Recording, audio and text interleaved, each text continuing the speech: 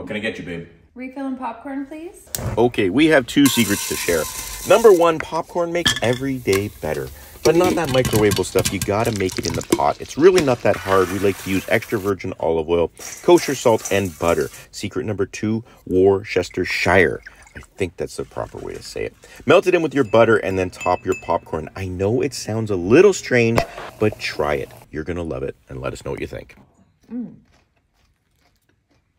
It's super delicious.